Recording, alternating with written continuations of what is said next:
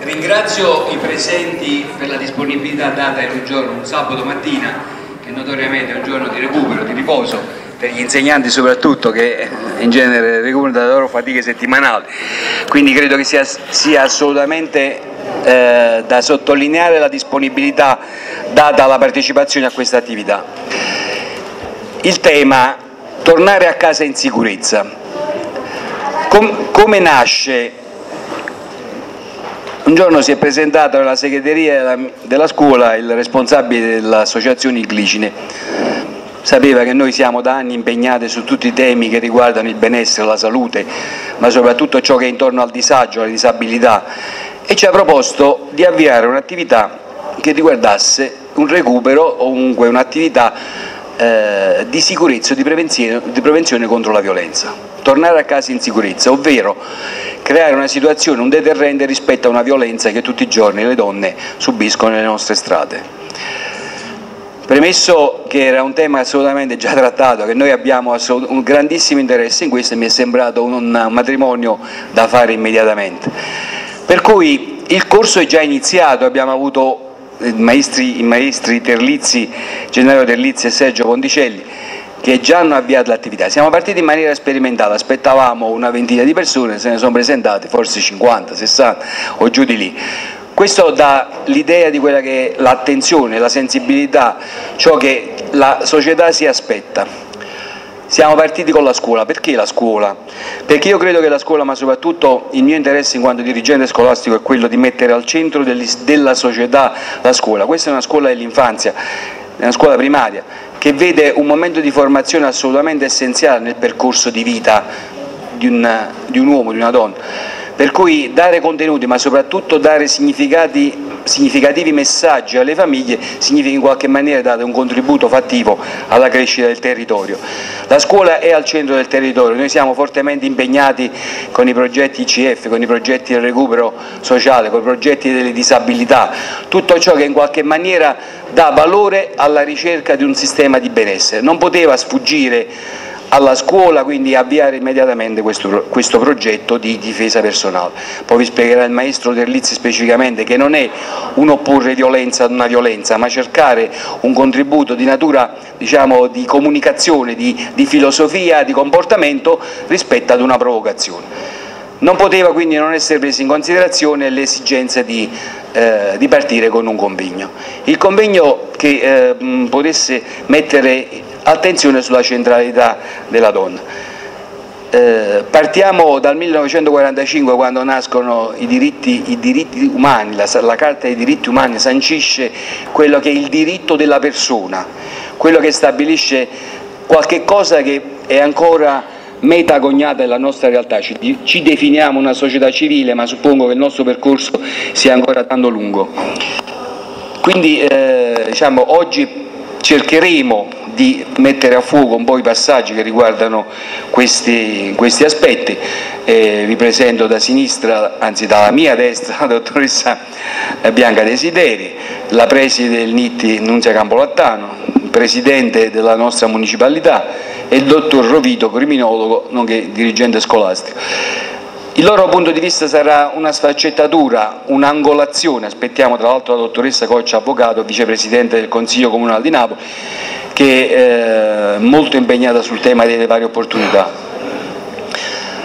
Credo che ehm, oggi, non, ci, oggi non, non abbiamo grosse pretese se non quelle di mettere a fuoco e sviscerare gli aspetti di uno stesso problema, visti da angolazioni diverse, viste da competenze diverse viste da chi questi temi li tratta e in qualche maniera l'ha già affrontati.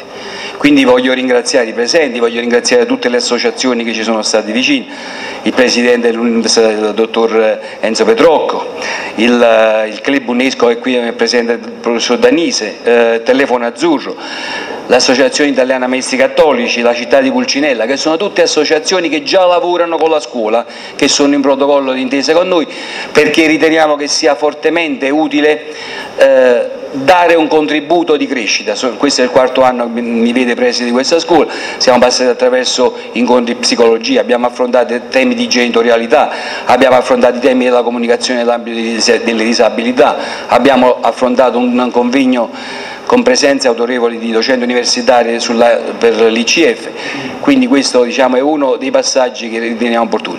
Mi auguro che sia solamente un punto di riflessione, un momento di inizio perché si possa sviscerare in maniera più approfondita e più attenta a tutte le tematiche che riguardano questi temi. Mi, mi sembra doveroso ricordare la presenza dell'agguerrito gruppo del, del, delle, delle, alunne del, del Galvani, cioè, si sono definite eh, gruppo donne in rosa, voglio dire, sono una minoranza, sono tante, non siete più minoranza mi sa, e quindi voglio dire, voglio dire è una presenza significativa, tante giovani che eh, tendono a difendere la loro identità, qualche cosa che eh, speriamo che possa realizzarsi veramente con un sistema di pari opportunità dove la donna concepita nel suo ruolo familiare, nel suo ruolo del lavoro, nella società, abbia la possibilità effettivamente di vivere in maniera adeguata il suo percorso di vita e che eh, non si senta discriminato ma che abbia eh, la possibilità, che si abbia la possibilità di non dover sentire più di episodi di femminicidio o episodi di varia natura di violenza che tutti i giorni oramai fanno notizia dai nostri giornali. Quindi eh, passo la parola al Presidente della Municipalità, eravamo in attesa anche dell'assessore del Comune di Napoli alle pari opportunità eh, che dovrebbe arrivare, appena arriva. Intanto passo la parola al Presidente, nostro gradito ospite, anzi probabilmente non è manco più ospite perché oramai è di casa, il nostro Presidente, il Dottor Giorgio De Francesco. Grazie.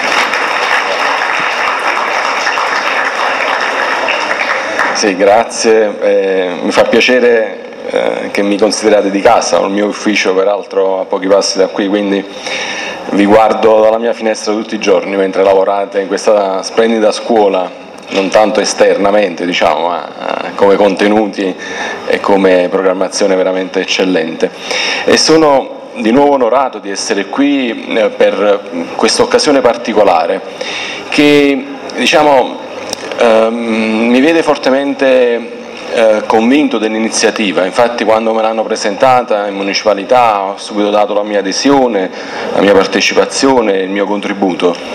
Anche se devo dire, riflettendo tra ieri sera, stamattina, poi coincidenza strana, ospite mio cognato da Torino che lavora al Ministero di Grazia e Giustizia che si occupa proprio eh, nel settore di violenza sulle donne, mi ha raccontato tante cose mentre facevamo colazione e la riflessione che facevo, premesso l'importanza di questo corso e di questa partecipazione, poi dirò qualcosa sulla partecipazione perché vedo tantissime belle ragazze. E è triste pensare di dover fare un corso di autodifesa, perché questo presuppone che ci sia una violenza. Perché noi siamo costretti a fare un corso di autodifesa per le ragazze, per le donne in genere? Perché evidentemente eh, ci sono ancora troppi atti di violenza rivolti verso quello che forse ingiustamente viene ancora definito il sesso debole. E I dati sono drammatici, eh, ancora non passa un giorno diciamo, che la cronaca nera non ci racconta di una violenza su una donna e ahimè spesso si traduce anche in un omicidio. E la cosa ancora più grave e più drammatica è che spesso questi episodi di violenza avvengono proprio nelle mura domestiche, tra mariti, fidanzati e questi sono dati veramente che ci devono far riflettere. E quindi per questo l'importanza poi di questo corso, che avrei voluto evitare probabilmente, perché se potevamo fare un altro corso, sempre dedicato magari alle donne, ma un corso più bello, più... e invece eh, il fatto che ci sia ancora tanta violenza assurda, forte su, sulle donne, ci costringe stamattina ad affrontare questo tema e a sviluppare questo, questo corso al quale credo parteciperanno in tanti e quando potrò cercherò di seguire anche io. E, dicevo, ho visto tantissime belle ragazze, mi fa piacere. vedo che avete anche una maglia, credo che sia dell'associazione, mi dispiace che ci siano pochi ragazzi, probabilmente avremmo bisogno di far ascoltare anche ai ragazzi, ai maschi, cosiddetti maschi, quello che significa la violenza sulle donne, la, quello che eh, succede nella psicologia di una donna, di una ragazza che si sente minacciata da, da un amico, da un fidanzato, da un marito. E sarebbe importante eh, alimentare diciamo, la presenza anche degli uomini, dei cosiddetti maschi.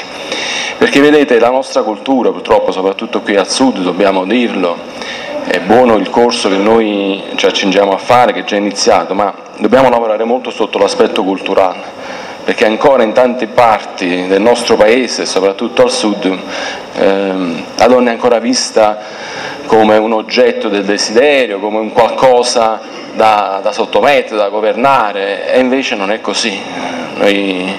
L'assessore alle pari opportunità non è ancora arrivato, però lei potrebbe spiegare meglio di me come veramente eh, ci sono ormai tante battaglie, noi dobbiamo continuare su questa linea per eh, affermare questi principi sacrosanti delle pari opportunità, pari dignità nel lavoro, nella scuola, eh, nella società a qualsiasi livello, nella politica. Ci sono ancora troppe poche donne eh, che hanno ruoli importanti anche in politica e questo dobbiamo diciamo, lavorare tutti insieme per migliorarlo.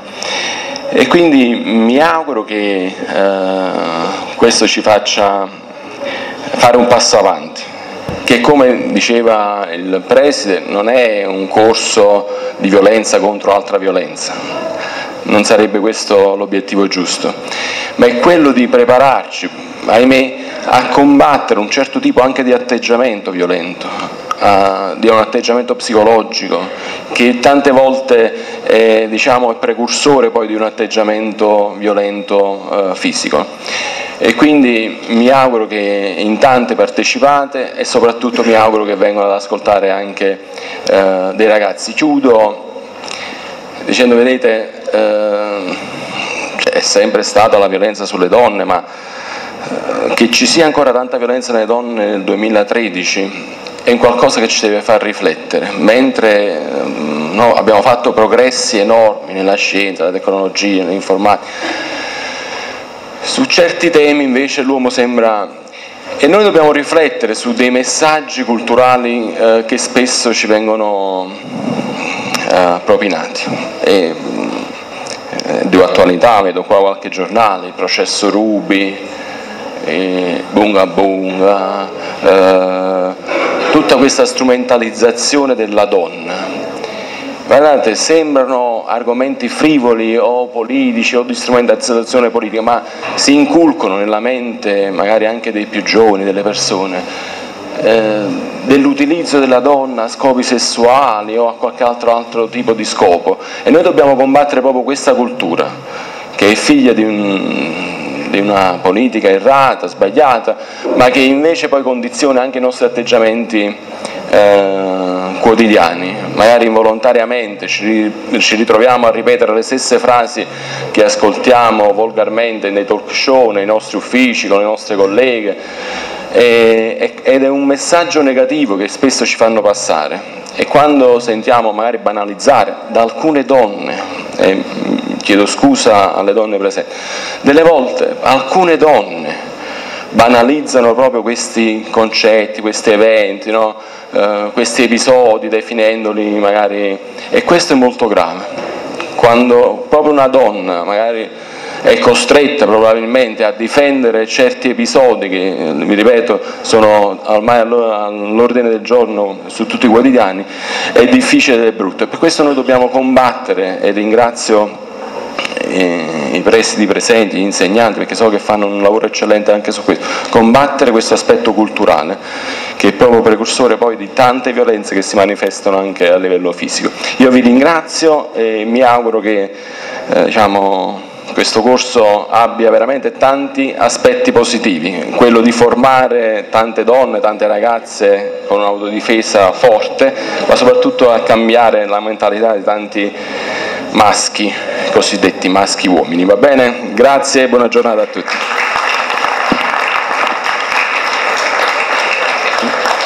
Grazie al nostro Presidente.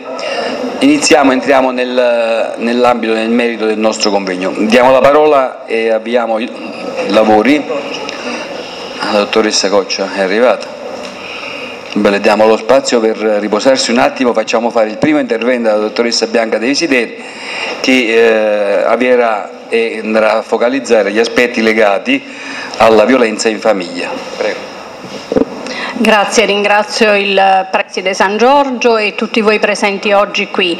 Il tema che andiamo a trattare è un tema particolarmente delicato ed è quello della violenza sulle donne, in particolare in famiglia.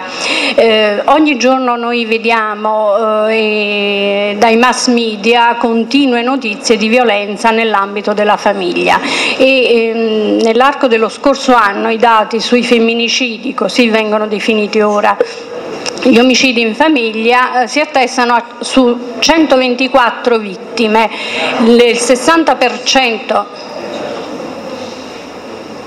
interrompiamo un attimo,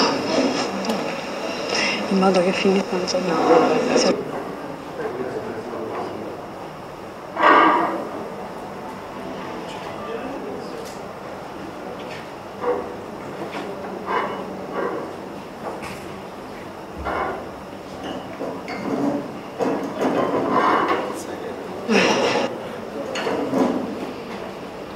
Allora dicevo che praticamente nello scorso anno eh, si sono verificati 124 omicidi nell'ambito familiare, dati veramente allarmanti eh, sono il segno di un profondo disagio che vivono eh, le famiglie a tutti i livelli. Non c'è in questo gruppo di, di dati eh, una specifica sul, sulla tipologia di famiglia dal punto di vista sociale, culturale o economico.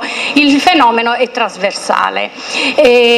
quindi ehm, questo rappresenta un vero e proprio dramma sociale che mina l'integrità sia delle persone che dei nuclei familiari e che ha dei forti riflessi sociali nell'ambito mm, sociale in quanto si riverbera sia nel lavoro che nella scuola che eh, nel continuo agire della società.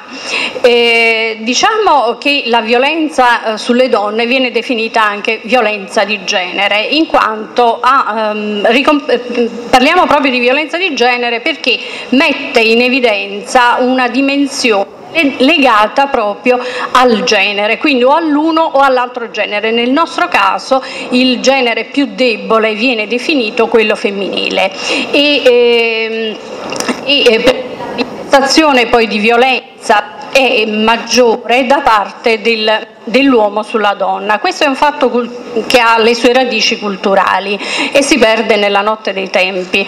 Eh, la, la, dichiarazione sull'eliminazione della violenza contro le donne è appena del 1993, quindi diciamo che è, ehm, seppur sono passati circa vent'anni è comunque abbastanza recente in, e descrive la violenza contro le donne come qualsiasi atto di violenza per motivi di genere che provochi o possa provocare un danno fisico, sessuale o psicologico, comprese le minacce di violenza, la coercizione o privazione arbitraria della libertà personale, sia nella vita pubblica che nella vita privata. Questo è molto importante come definizione in quanto specifica per gli operatori e per le persone quello che rappresenta questa tipologia di violenza. Eh, purtroppo nessun paese, neppure quelli definiti più civilizzati, sono esenti, come abbiamo visto dai dati che riguardano il nostro paese, sono esenti da questa problematica.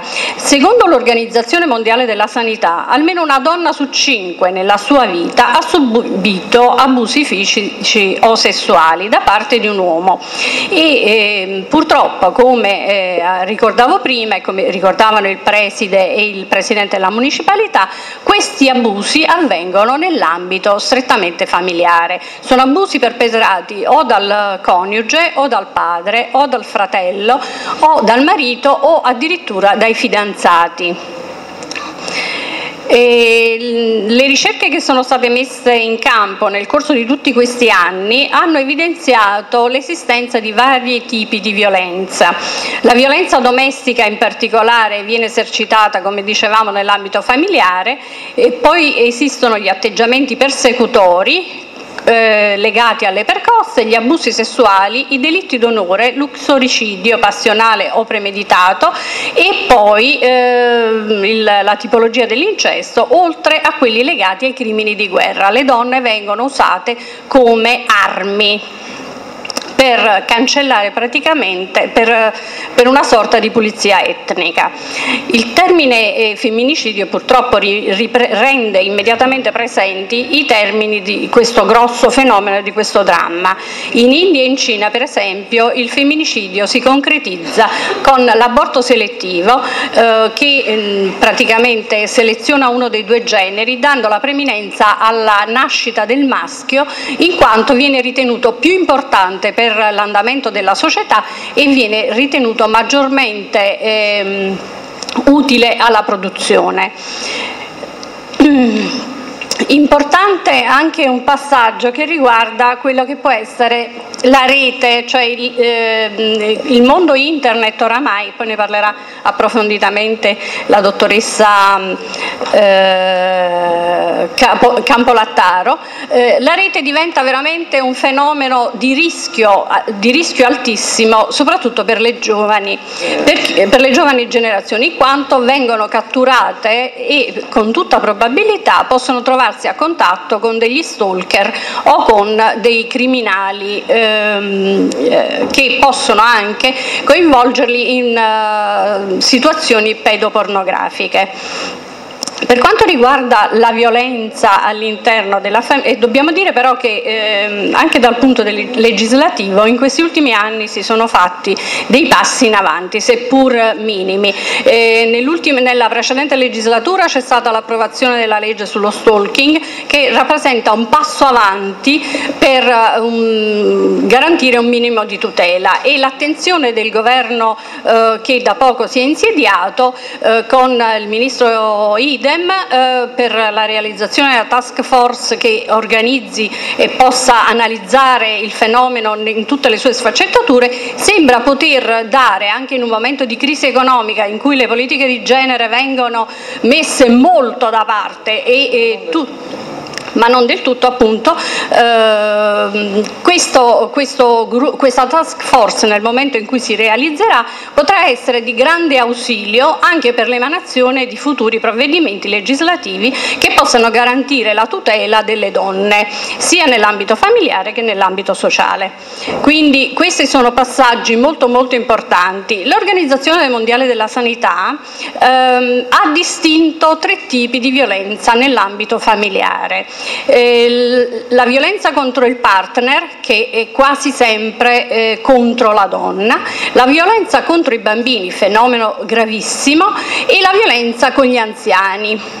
La sensibilità dell'opinione pubblica su questi tre, grossi, eh, tre grosse macroaree di violenza si è mano a mano eh, modificata logicamente. Nel primo, una prima fase è quella di attenzione sulla sindrome eh, del bambino maltrattato, quindi la sindrome di Kemp e che eh, si aggira intorno al 1960-61. Poi ehm, l'attenzione ehm, si è focalizzata sui movimenti femminili femminili americani che hanno quindi portato all'attenzione della comunità internazionale la problematica delle donne. Siamo negli anni 70. Negli anni 80 invece, proprio con l'allungamento della vita eh, delle persone, quindi con una maggiore presenza di anziani nell'ambito della famiglia, abbiamo avuto la sezione del maltrattamento contro gli anziani. Siamo appunto nel 1980 e quindi abbiamo queste tre grosse problematiche che riguardano un unico grande eh, problema che è la violenza nell'ambito delle, delle mura domestiche. Eh, I numeri effettivi di quella che è la violenza in famiglia non sono noti perché ehm, sono praticamente legati alla, capacità, alla volontà, alla segnalazione da parte delle donne o delle persone maltrattate di ehm, proprio una denuncia presso le autorità e, e quindi c'è una mancanza di consapevolezza nelle donne che eh, è possibile eh, denunciare e eh, quindi eh, allontanarsi o allontanare il, eh, il partner dall'ambito familiare. Molte donne chiaramente non percorrono questa strada perché è una strada dolorosissima e, e significa chiaramente eh, separare e distruggere eh, sostanzialmente una famiglia che però, è, che però è già distrutta perché nel momento in cui ci sono violenze tra coniugi, violenze tra partner in presenza di figli, questi resteranno segnati per sempre perché assistono a continue eh, violenze tra i genitori che eh, chiaramente mh, portano un impatto psicofisico notevole. E anche, eh, anche tut, il, il, passaggio legato alla eh, segnalazione della violenza è, per le donne eh, risulta non molto, eh, non molto mh, facile da fare, in quanto spesso una volta segnalato lo stalker o una volta segnalata la violenza in famiglia non c'è immediatamente una, uh, un'attenzione, il, il, sostanzialmente si verifica solo nel momento in cui c'è un abuso fisico, un maltrattamento reale o si arriva addirittura all'omicidio. Quindi l'attenzione va soprattutto nell'analisi dei comportamenti e qui finisco l'intervento, ehm, i comportamenti famiglia e eh, l'approccio immediato con, ehm, sul primo abuso, può essere uno schiaffo, può essere un atteggiamento violento,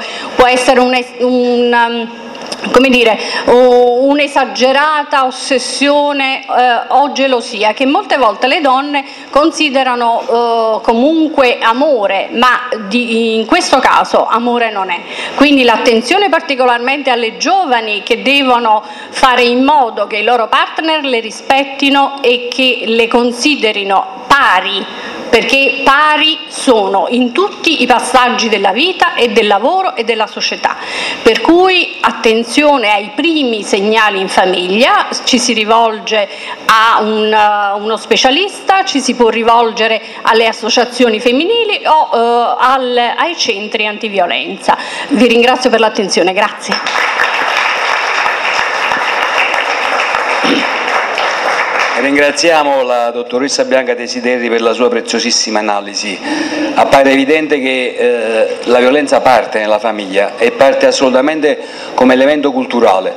Qual è, qual è la strada da percorrere? Quella di avere maggiore attenzione per la persona, per avere una maggiore attenzione nell'ambito delle relazioni, dei comportamenti eh, la scuola assolutamente ha un ruolo essenziale, preeminente nel percorso formativo di un soggetto, quindi eh, penso che mh, più che mai questo discorso si calli nell'esigenza di dare alla scuola questi compiti insieme a tutti i partner che in qualche maniera collaborano alla riuscita di questi obiettivi.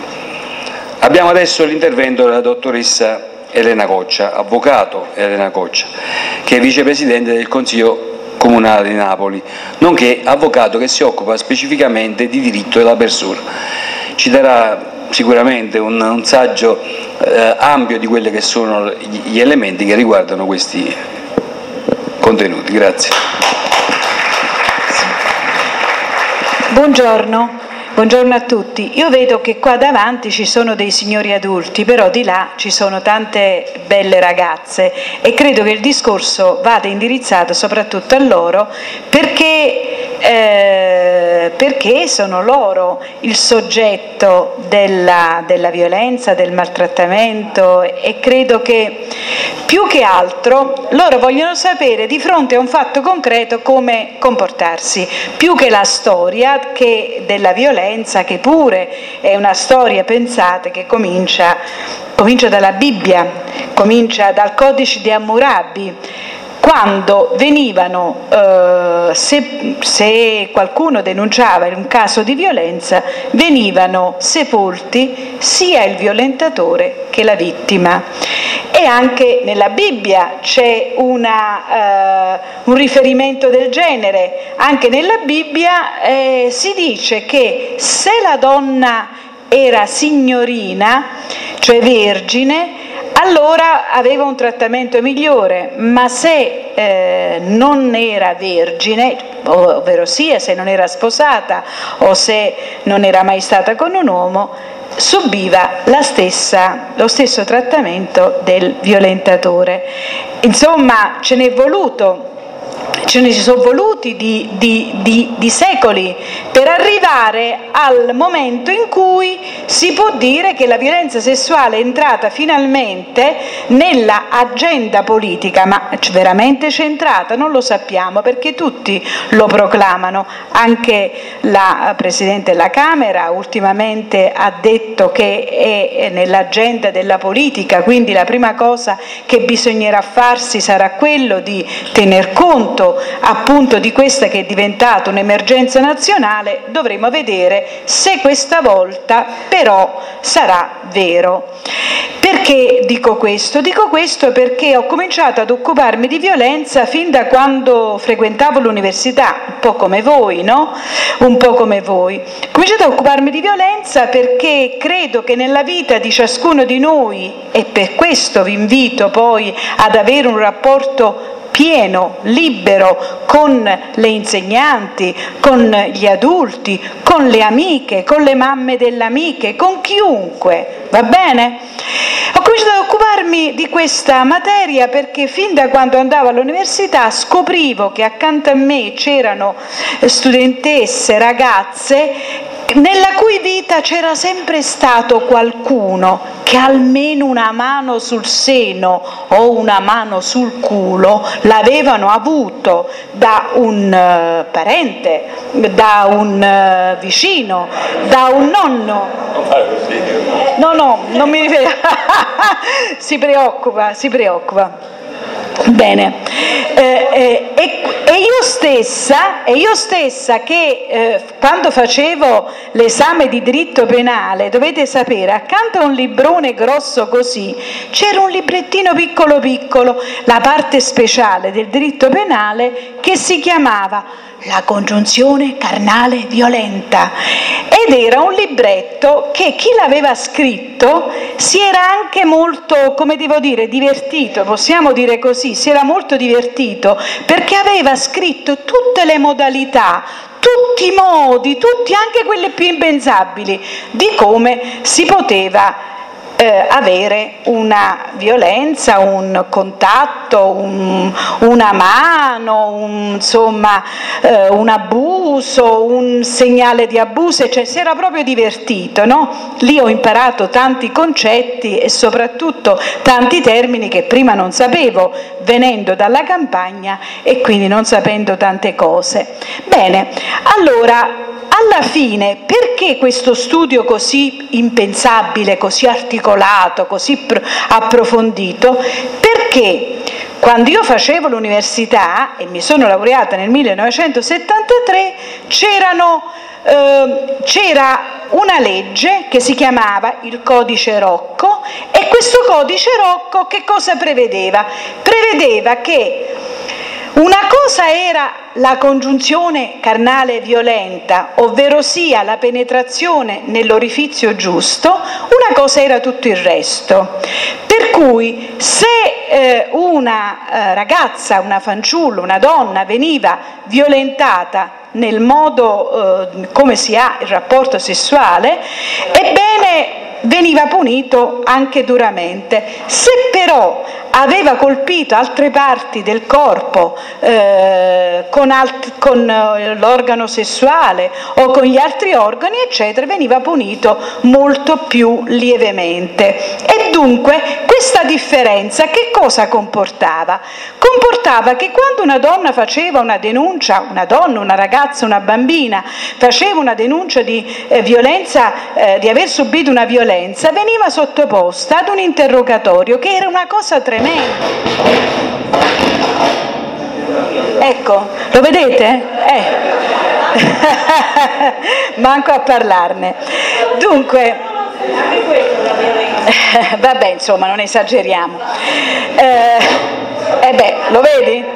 Sta sempre lì. Eh, dicevo che, eh, che quindi l'interrogatorio che subiva la, eh, la, persona che aveva subito una violenza era una, un qualcosa che a un certo punto la rendeva quasi vittima, perché il giudice doveva appurare per filo e per segno come si erano svolti i fatti al fine di determinare se si era trattato di un abuso o se era di, una, di, di un atto di libidine violenta, si chiamava così, o se eh, invece eh, aveva, dovevamo parlare di una, violenza, di una violenza vera e propria. Allora ci fu, eh, io ero, ero una ragazza un po' allegra come voi, o voglio sperare come siete voi, ovvero sia mi piaceva eh, girare, conoscere, sapere, fare cose come dice Nanni Moretti, eccetera, e quindi eh, ero andata a Roma eh, a fare la mia pratica forense presso uno studio eh, che allora era uno studio stupendo e meraviglioso ed era quella della, di, di Tina D'Agostena Bassi. Ebbene, eh, mi capitò ancora da eh, praticante di eh, partecipare e conoscere quello che è rimasto l'emblema dello stupro più grande, più duro che ci sia mai stato, quello del eh, processo del Circeo, dove due ragazze, due ragazze della Roma popolare furono attirate da gente bene, da ragazzi bene della Roma ricca eh, attirate in una festa dove andarono volontariamente, anzi devo dire loro si erano sentite molto gratificate, loro ragazze del popolo, di andare invece in una villa al Circeo, una villa macro, megagalattica, eccetera, ad andare a passare questa serata con questi ragazzi, ma qui non solo vennero per ore violentate e torturate da tre uh, individui, una di, di loro fu uccisa e l'altra non fu uccisa solo per caso, solo per caso perché la, credendola morta, la misero un, nel cofano di una macchina e poi ritornarono verso Roma. Lei si svegliò, si cominciò a lamentarsi, ma era veramente eh, quasi morta. Qualcuno sentì questo lamento che proveniva dalla macchina, aprì il cofano e le salvarono la vita, per modo di dire. Perché dico per modo di dire? Perché eh, è morta questa, questa ragazza poi mm, a 36-37 anni di cancro, ma non ha mai superato lo shock e come poteva farlo di quella ah, disavventura tremenda. Per eh, notizie di cronaca diciamo poi che i tre eh, fanciulli scapparono perché erano della, Ro- della Roma bene, quindi li fecero fuggire, eh, evase, uno di loro evase addirittura dal carcere, lo beccarono uno di questi tantissimi anni dopo in Argentina, in Argentina quando c'era la dittatura dei colonnelli fu il riparo di molti assassini del, eh, diciamo di tutta l'Europa, di tutto il mondo, sia nazisti che eh, eh, diciamo di altro genere, lo beccarono, lo portarono eh, eh, in Italia, lo eh, incarcerarono, qualche anno dopo gli diedero un permesso per uscire e lui ne approfittò per uccidere, violentare ed uccidere una mamma e una figlia di un suo compagno di carcere. Questo per fare un po' di cronaca. Ora però che cosa dobbiamo, che cosa dobbiamo dire? Dobbiamo dire che quel processo fu un processo che non passò alla storia tanto per la inaudita e inumana violenza che fu esercitata su quelle due ragazze, quanto per gli avvocati difensori dei tre assassini. Perché gli avvocati difensori dei tre assassini si comportarono nei confronti delle ragazze eh, dando loro un'ulteriore violenza. Ne sentimmo in quell'occasione di tutti i colori e sentimmo anche la famosa frase che poi era stata attribuita addirittura a un ministro fascista della nostra, eh, del nostra, della nostra povera Italia, De Marsico, ovvero sia il fodero di una spada, lo, lo stringere questo fodero della spada e, e infilare la spada nel fodero e dite, vedete, se la, il fodero è ben stretto, la spada non penetra, quindi c'è stato consenso. Ecco, si disse anche questo in quell'occasione.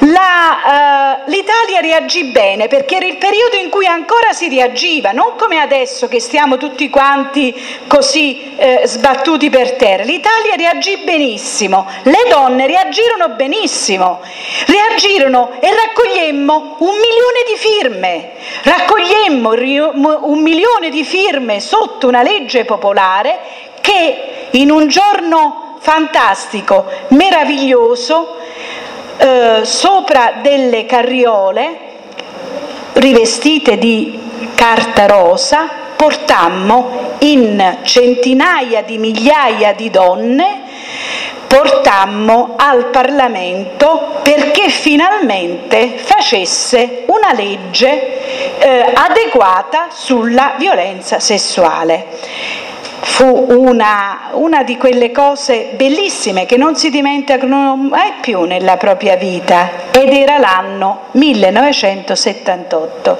Era l'anno 1978, io non so se qualcuno di voi ha visto le fotografie di come si vestivano le donne in quell'epoca, avevano dei gonnelloni lunghi, avevano degli zoccoli, si vestivano pieni di fiori, era un'allegria incredibile.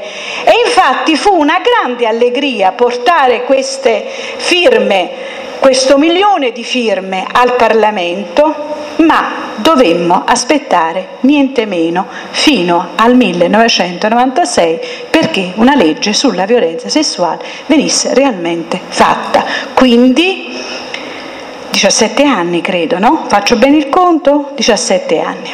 17 anni per avere una legge che unificasse i due reati, il reato dell'atte di libidine violenta con la violenza sessuale e quindi sottraesse le donne alla a questo interrogatorio che risulta poi essere una vera e propria violenza e che anzi introduceva anche la prova anticipata, l'incidente probatorio, di modo che fino a 16 anni chi denuncia una questione del, del, genere non vedrà mai in faccia il suo abusante e il suo violentatore. E credo che questo per voi sia una grande, eh, come posso dire, eh, una grande vittoria. Dunque, eh, dopo di allora fu più semplice denunciare, fu più semplice quindi eh, eh, affrontare i processi, fu più semplice anche portare alla sbarra e vedere le persone condannate. E a questo punto mi piace ricordare la prima causa che fu fatta a Napoli sulla violenza subita da una bambina di 10 anni. Bene, la voglio ricordare perché fu emblematico. Avevamo, eravamo riusciti a convincere l'allora procuratore della Repubblica a preparare una stanzina con un divano, con un, un tappeto, con dei giocattoli, eh, dove veniva eh, la vittima, la bimba, e veniva ascoltata non direttamente dal giudice, dal poliziotto, dall'avvocato, che sono sempre delle cose che mettono una certa ansia, ma veniva ascoltata da una psicologa con delle domande che erano state preve- preventivamente preparate da avvocati, giudici, avvocati difensori, avvocati parte civile, tutti. Bene, allora che cosa, che cosa eh, facemmo questa prima volta? Non posso mai dimenticarle, era un luglio, un luglio caldissimo. Vi immaginate un luglio al centro direzionale di Napoli che tutto è vetro e cemento, quindi un caldo mostruoso. In questo caldo mostruoso, in una stanza era il giudice eh, con eh, i poliziotti, con noi avvocati, con gli avvocati difensori, con un po' di persone che erano venute a, a sentire, parenti, eccetera. Nell'altra stanza che non ci vedeva, non ci poteva vedere mentre noi vedevamo per uno schermo televisivo la ragazza con la psicologa e mm, era la bambina, quindi in totale non, rius- non, eh, non avrebbe mai visto, non vedeva assolutamente il suo stupratore che era il suo padrigno. Bene, la psicologa ci dice, eh, posso utilizzare eh, delle bambole? E noi diciamo, se servono alla, ehm, a raccogliere la prova, va bene, ok, va bene. Se non che lei arriva e dice Antonella, guarda, ti ho portato una, uno scatolo di bambole. E lei fa, uh, sono per me, ma che bello, eh, fammi vedere. E comincia a giocare con queste bambole. Intanto il tempo passava, noi sudavamo, cominciavamo a porci tante domande, forse abbiamo sbagliato la tecnica, forse abbiamo sbagliato la psicologa, forse abbiamo sbagliato tutto, forse è sbagliata la legge.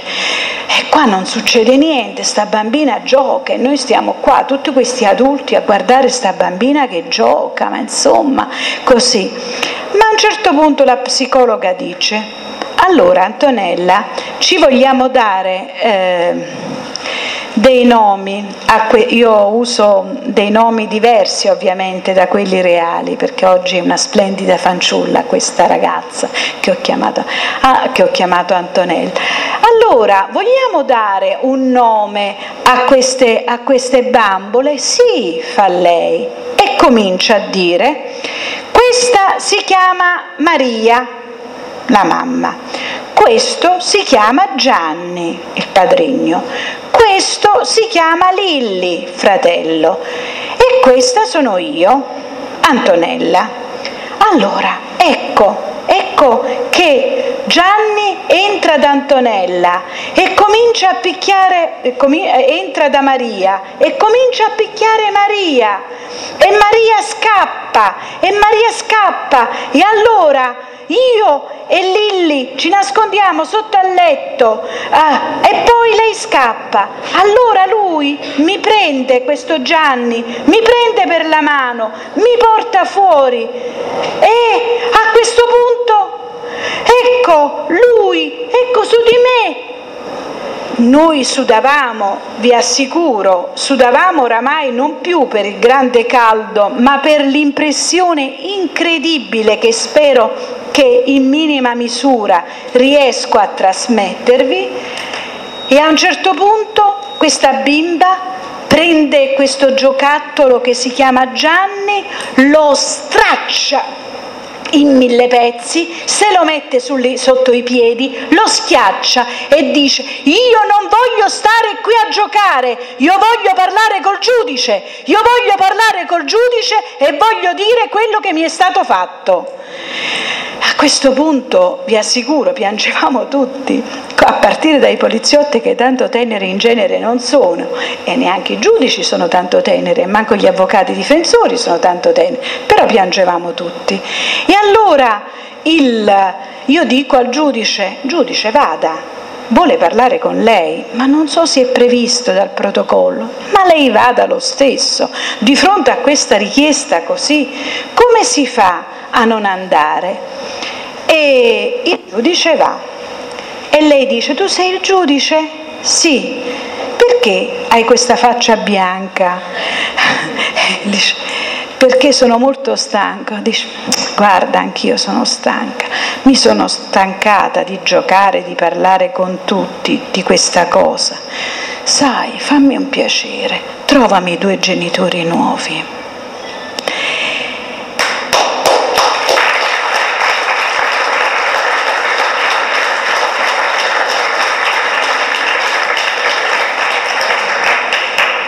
Qualche anno dopo, una mia conoscente mi chiamò e mi disse vuoi passare l'8 marzo con noi?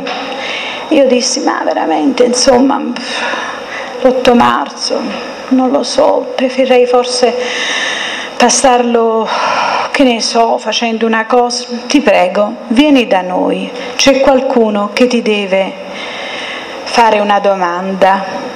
Questo qualcuno era Antonella, era diventata una ragazza splendida, meravigliosa, aveva trovato due genitori nuovi e soprattutto aveva superato il lutto di quella sua vicenda e adesso voleva sapere e voleva sapere da me. Perché poi anche era stata allontanata anche dalla sua mamma e non solo dal suo padrigno che era stato il suo abusante.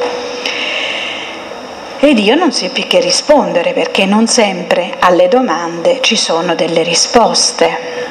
Allora vi ho raccontato questo episodio per dire che poi le cose cambiano, evolvono, le cose, nessuno deve vedersi in trappola, nessuno di voi deve sentirsi in trappola, nessuno di voi deve vedere che la vita è finita, che questo episodio la sporca, che questo episodio non può essere riferibile. No, deve essere riferibile, deve essere raccontato, deve essere raccontato alla mamma, all'insegnante, alla psicologa, a, a chiunque, alla madre dell'amica, deve essere detto, deve essere detto perché poi deve essere affrontato e deve essere superato.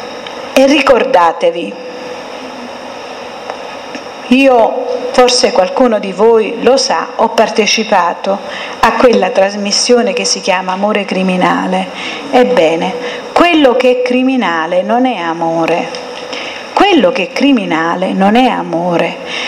Chi vi picchia non vi vuole bene. Io lo so, voi pensate, ma, ma guarda questo come mi ama, mi, mi ama tanto. C'è anche una canzone no, che appartiene alla nostra tradizione, no? la canzone di Bambanelli e Coppi Quartiere, no? dice ma, ma regne mazzate, purtroppo bene. Cioè, non è vero, è una stronzata, va bene? È una stronzata. Va bene? Allora dovete sapere che chi vi tocca anche soltanto con un dito non vi ama, vi considera un oggetto, vi considera un suo elemento di possesso. Allora, prima che la storia diventi troppo pesante, rompete Volete denunciarlo? Fatelo. Non volete denunciarlo? Non fatelo. Ma rompete. Prima, la prima volta che vi chiama a telefono per più volte e vi minaccia, parlatene. Parlatene. E agli adulti che vedo qua, che immagino insegnanti, che immagino educatori, educatori in senso lato, io dico, c'è chi può e chi deve. Voi dovete voi dovete raccogliere tutti i gridi di dolore che si alzano da bambini, da ragazze, da, da fanciulle, da chiunque. Voi dovete, nessuno si nasconda dietro il ruolo e chi deve farle le cose le faccia. Solo rispettando ciascuno il proprio ruolo possiamo pensare di allontanare questo fenomeno mostruoso che in questa settimana ha anche nella portato la nostra Campania al primo posto in Italia tra maltrattamenti ed omicidi e francamente non ce lo meritiamo perché siamo tutte persone per bene e lo dobbiamo assolutamente rappresentare. Grazie.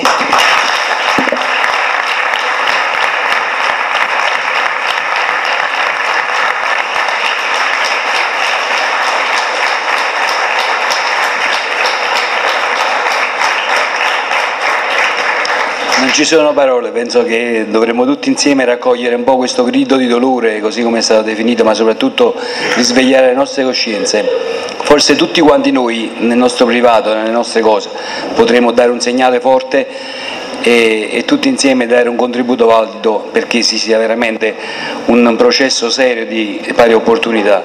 Siamo lontani da quello che dovrebbe essere il contenuto di una società civile, basta vedere ciò che tutti i giorni ci passa nelle televisioni, mass media e in certi messaggi anche della nostra politica, quindi penso che forse c'è tanta strada da fare. Qui non abbiamo nessuna pretesa se non quella di parlare e forse di mettere una pulce nell'orecchio.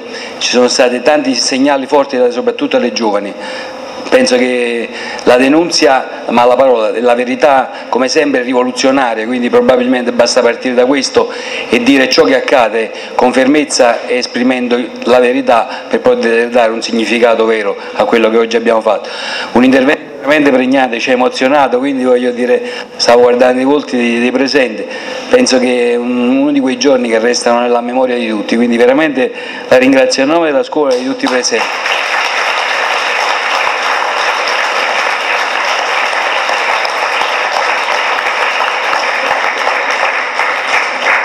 Passiamo la parola alla preside Nunzia Campolattano, dirigente scolastico del Nitti, che è impegnata nelle pari opportunità, dirà, dirà, da sola tutto quello che lei fa nella scuola e in tutte le sue esperienze personali. Prego.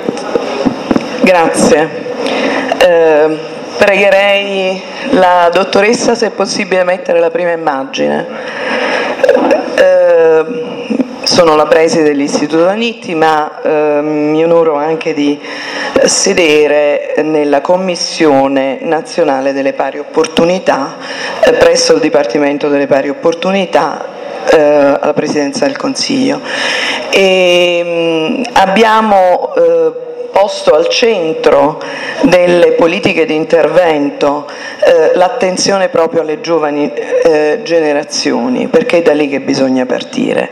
Ma mi si consenta di fare un ringraziamento alla dottoressa Coccia. Io sono, devo dire, sto tremando, emozionata, perché lei rappresenta la storia del femminismo italiano, sicuramente è stata un baluardo delle battaglie di noi donne. E oggi è importante che voi giovani, giovani donne eh, riprendiate la consapevolezza del ruolo nell'ambito sociale perché stamattina lo spunto è diciamo, parlare di questo bel progetto che viene promosso dall'associazione Glicine che è una delle tante forme di prevenzione che la società deve portare avanti, può portare avanti, ma sicuramente l'asse prioritario parte da che cosa? Dal cambiamento di un approccio culturale della, nella società e cioè eh, un approccio culturale che non deve essere più un approccio basato sulla eh, quella che è l'ideologia dell'avere, del possesso, della cosificazione dell'essere umano, ma piuttosto una politica di rispetto della dignità umana come ci detta eh, la Costituzione. E quindi quando si parla di dignità umana si parla di uomo e di donna indifferentemente e eh, naturalmente le politiche di genere sicuramente in un momento di crisi sono sicuramente come dire, più difficili da percorrere per problemi di eh, economia, ma non per questo vengono archiviate o messe da parte. Posso rassicurare la dottoressa Coccia che stiamo lavorando al tavolo perché naturalmente questo che già è sedimentato nella storia e nel nostro diciamo, eh, immaginario collettivo cambi, che non si possano più verificare violenze che sono state effigiate e tratteggiate dalla storia dell'arte in maniera diversa. Già qui vediamo come la mano di Caravaggio è una mano distaccata, è una mano che fotografa la violenza, ma non è una mano partecipe. Eh, se andiamo alla eh, immagine successiva, perché partire da queste immagini forti. Questa è un'immagine di una donna del passato, una vostra sorella, una nostra sorella che ha subito violenza e che partecipa con pathos inenarrabile, ineguagliabile nel trasferire con forza evocativa quello che è il dramma che ci ha raccontato, veramente guarda io sto ancora tremando di quello che tu hai raccontato, eh, quelle che sono le, esperienze di una donna che subisce violenza. Ma da dove parte tutto questo? Cioè perché noi dobbiamo cambiare la cultura della nostra società? Perché la nostra cultura è figlia di, di una cultura che ha un impianto di tipo aristotelico, che dice che il maschio, dal libro primo della politica, è per natura migliore, la femmina peggiore l'uno atto al comando, l'altra ad obbedire. Penso che queste parole potrebbero essere un'epigrafe posta su tutte le tombe delle donne violentate, come atto d'accusa rispetto a quello che è stato il padre della cultura cosiddetta occidentale voluta una cultura che pone l'uomo e la donna e soprattutto la donna oggetto di possesso e non soggetto di scambio libero e assunto come scelta consapevole di approccio comunicativo affettivo con l'altro genere e quindi bisogna ricostituire, ripartire da quello che siete voi giovani, dalle basi, l'educazione alla differenza di genere. Ma prima di avviarmi nel discorso di ciò che si fa oggi, perché si sta facendo molto ed è per questo che è importante parlarne, perché eh, in Italia si sta lavorando proprio per le giovani generazioni, in particolare al termine vi dirò le politiche di intervento avviate dal Dipartimento delle Pari Opportunità e del Ministero, che sono state particolarmente sollecitate dalla Commissione, ove io seguo, mi onoro di sedere come Vicepresidente. E, naturalmente per poter comprendere quali sono le politiche che vengono attuate nella nostra società bisogna fare un attimino il punto di che cosa sono, quali sono gli organismi che lavorano per portare al rispetto della dignità umana e alla pariteticità dei ruoli. Allora, innanzitutto abbiamo il Ministero delle Pari Opportunità, che è, diciamo, di neo-istituzione, se possiamo dire, non ha una storicità come il nostro Parlamento. Negli anni Ottanta, dopo le battaglie fatte dalle eh, eh, nostre eh, sorelle femministe che hanno praticamente portato avanti battaglie per voi ragazze, perché oggi ci sono dei risultati importanti dalla parte delle donne, di cui poi parlerò brevemente. Eh, si arriva alla costituzione del Ministero, il Ministero con due bracci operativi, uno per le politiche, il Comitato Nazionale di Pari opportunità presso il Ministero del Lavoro, quindi tenete presente l'asse lavorativo e l'asse socioculturale, nonché l'asse che coinvolge tutte le politiche comunque di intervento dalla parte delle donne.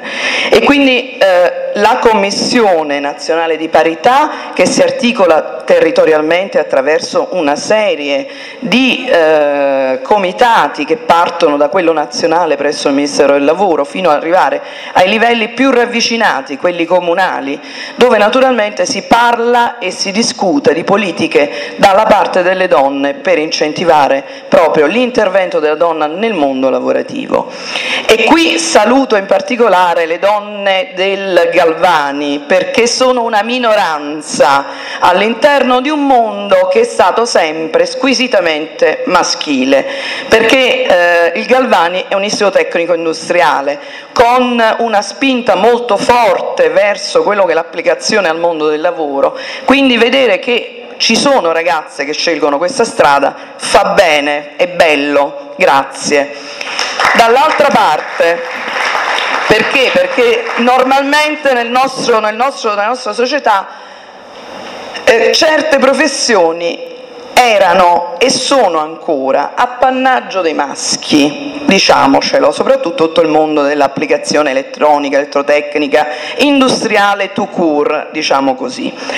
Poi, tornando al discorso dei comitati, abbiamo l'altro comitato che si è costituito fin dal sorgere del Ministero delle Pari Opportunità, che è la Commissione delle Pari Opportunità tra uomo e donna presso la Presidenza del Consiglio. La, eh, praticamente la Commissione è eh, ha cambiato diciamo, nel tempo e oggi eh, è istituita, è stata riformata nel 2003 e eh, vi è stato nel 2004 l'insediamento della nuova commissione che è costituita dalla Presidente che è il Ministro, attualmente il Ministro sapete che è Josefa Idem, dalla Vicepresidente che mi onoro di essere stata nominata, da una segretaria e tutti i rappresentanti del mondo datoriale, del mondo sindacale e del mondo associativo a livello nazionale. Che cosa svolge questa Commissione? Formula proposte al Ministro per l'elaborazione delle modifiche normative necessarie a rimuovere qualsiasi forma di discriminazione eh, sia diretta che indiretta nei confronti delle donne e conformare l'ordinamento giuridico al principio di pari opportunità fra uomo e donna, verificare lo stato di attuazione delle politiche di pari opportunità nei vari settori, eh, nella vita politica, economica e sociale e segnalare le relative iniziative al Ministro. E qui vengo al punto. Quindi questa Commissione ha un ruolo nodale nelle politiche di pari opportunità per il rispetto della dignità umana della donna. Naturalmente in tutti i campi del, del, del, dello scibile, in tutti i campi della nostra società. E nell'ultima diciamo, articolazione interna di lavoro, i gruppi di lavoro che sono stati costituiti dalla Commissione sono quattro. Uno che riguarda l'analisi diciamo, di tutto ciò che viene fatto, come dire, lo stato dell'arte a livello nazionale, quindi annualmente c'è un rapporto, cosa fanno le regioni, cosa fanno gli enti locali, cosa fanno gli enti datoriali, cosa fanno le banche e quindi una sorta di, veramente di collegamento e di coordinamento. Che, quali sono le politiche di intervento a livello europeo, quindi delle nostre nazioni sorelle, e eh, la conciliazione dei tempi di vita e di lavoro. E abbiamo voluto dire conciliazione e condivisione perché il problema del collegamento tra tempi di vita e di lavoro non è solo e non deve essere solo in rosa ma anche in blu, anche del partner, anche del compagno, ma queste in particolare ci riguardano. E qui naturalmente per la stretta economica creditizia purtroppo tutto quello che era un grande tesoretto che derivava dall'innalzamento dell'età delle, eh, pensionabile di noi donne che doveva arrivare alle politiche di intervento purtroppo per la situazione economica che abbiamo è stato ridotto moltissimo, però vi posso dire che ah, comunque dalla Commissione, dal Dipartimento, aiuti sono arrivati, nello specifico alla Campania è arrivato un, miliardo 400, un milione 400 e passa euro di aiuto per la conciliazione dei tempi di vita e di lavoro proprio l'anno scorso sono stati erogati. E eh, un punto importante che mi tocca nella duplice veste di preside e di vicepresidente è la cultura di genere che non c'era mai stata come, come diciamo al centro delle politiche della Commissione di pari opportunità nazionale non era presente. Abbiamo voluto fortemente un gruppo di noi, eh, consigliere, e consigliere che derivavano dal mondo della scuola, ma anche dal mondo imprenditoriale. Io ho trovato un grosso aiuto dalla rappresentante della Fondazione Belisario, pensate, quindi mondo imprenditoriale proprio tout court, eh, perché hanno capito che la donna, uno, ha grande, un grande eh, patrimonio di know-how da mettere a disposizione della società, ha un grande eh, know-how di competenze perché le donne mediamente nel mondo dell'istruzione e formazione raggiungono livelli molto più alti dei maschietti, anche se poi si fermano e eh, strada facendo nei ruoli chiave troviamo pochissimi, nei board troviamo amministrazione, poche donne, però la legge Golfo nel 2011 ha voluto porre dare risposte a questo problema andando a disegnare, ad imporre diciamo, la presenza nei consigli di amministrazione di certe eh, di percentuali di donne. E, eh, quindi al di là di questo ehm, andiamo diciamo, nello specifico delle politiche di intervento. Ehm, pregherei prima di affrontare il problema della eh, della differenza di genere dell'educazione di genere, di far partire il filmato che è dalla parte delle ragazze ed è stato tratteggiato da vostre compagne. Un filmato bellissimo che racchiude in sé tutto quello che è proprio il senso stesso della violenza tra mura domestiche e nell'amore con l'altro, differentemente uguali.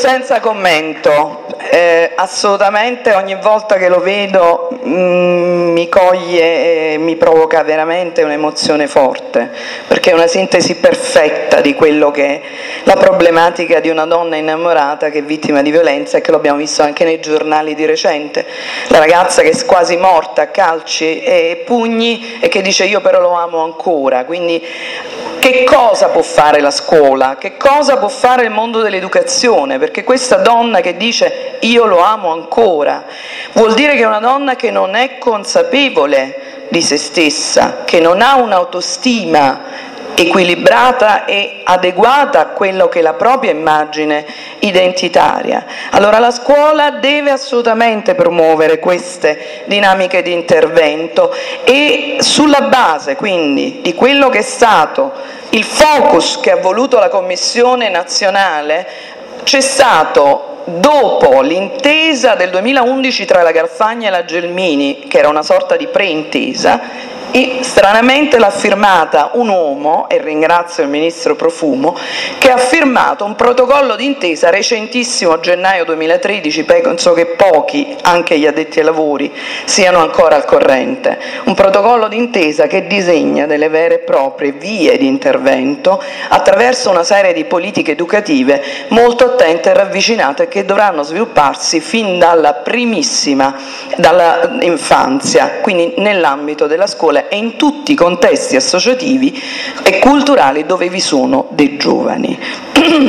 Quindi questo protocollo d'intesa pone degli obiettivi e nell'ambito di questi obiettivi, nell'ambito di un altro grande progetto eh, che più scuola e meno mafia, che eh, va a declinare in varie forme il Ministero, il MIUR, il Ministero ha inteso avviare un progetto con quattro università straniere, il Centro Antiviolenza di Milano, chiama Milano, e il Centro eh, di eh, Greco Tessalonica e varie università dall'Università di Cipro. La capofila di questo progetto è la seconda università di Napoli e il Francesco Saverio Nitti, il nostro istituto, è scuola partner insieme ad un altro liceo di Milano. Siamo le uniche scuole perché stiamo lavorando ad un progetto che si chiama Tambi in Internet.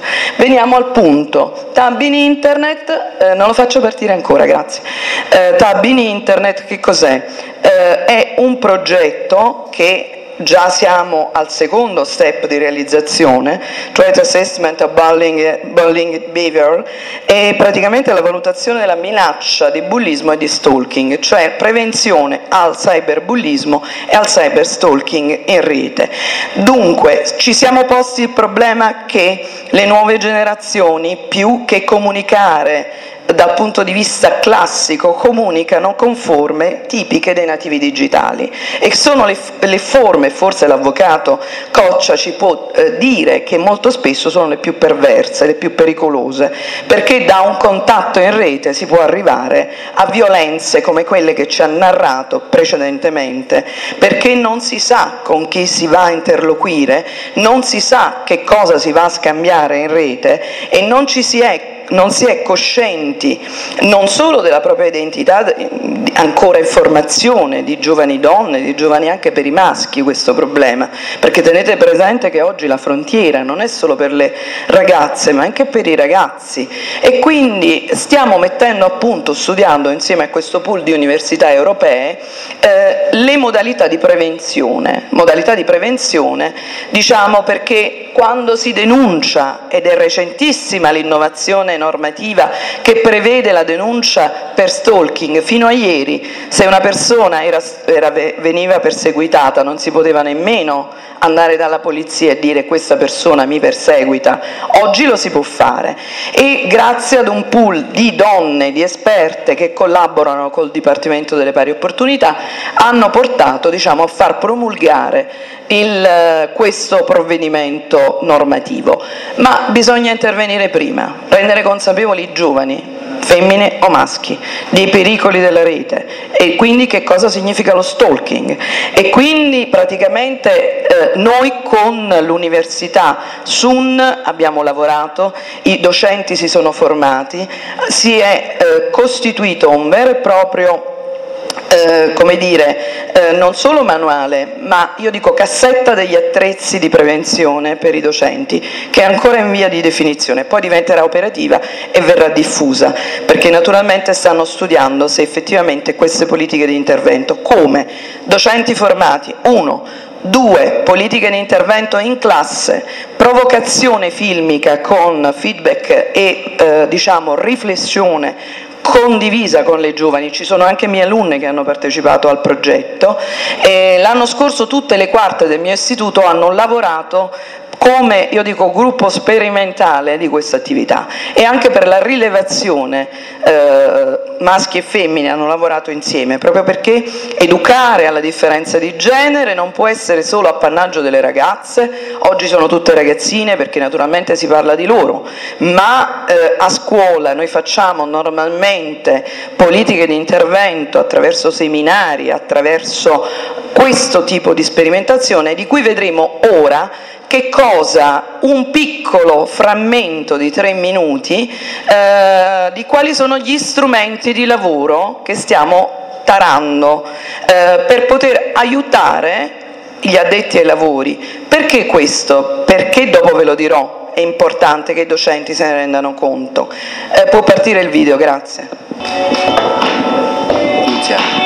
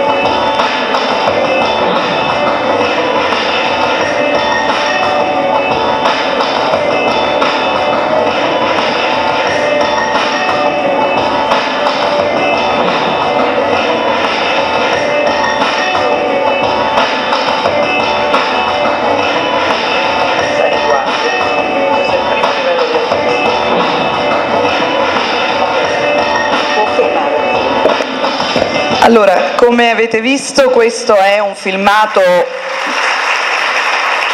stimolo e diciamo la prima volta che viene presentato in un consesso pubblico e è reperibile sul nostro sito perché noi abbiamo un sito um, abbastanza ampio dove ci sono una serie di attività, di, di lavori di che fa la scuola e siamo particolarmente impegnati sul profilo delle pari opportunità.